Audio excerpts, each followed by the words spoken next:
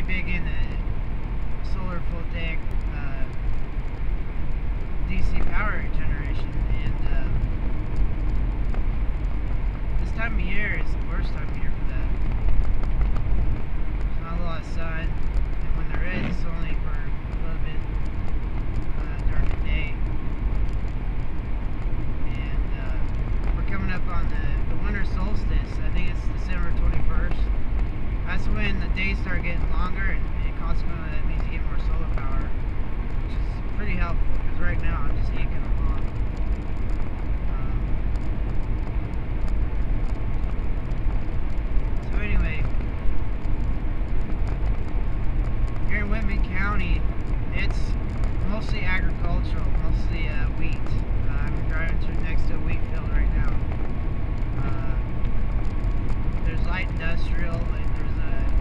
Schweitzer Engineering Laboratories in Pullman.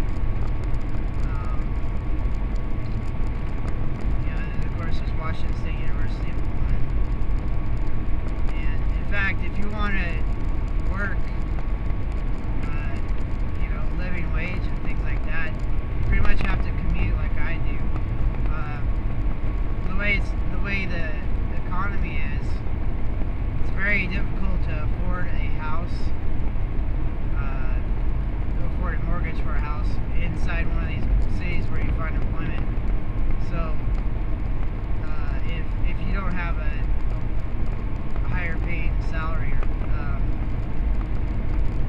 so what is you commute from the outskirts. You commute from upwards. Some some people think uh, our commute is is uh, not not that bad at all.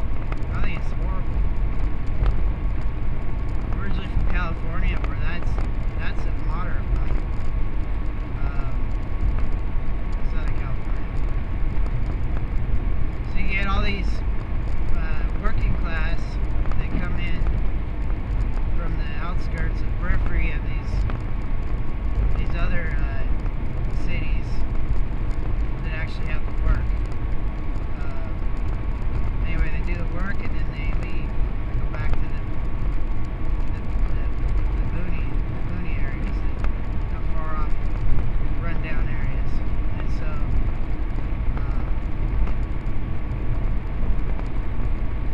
realistically, like in a better society, part of your employment package would be you'd have a uh, little apartment on site, or even look like a bunkhouse or a dorm room or something.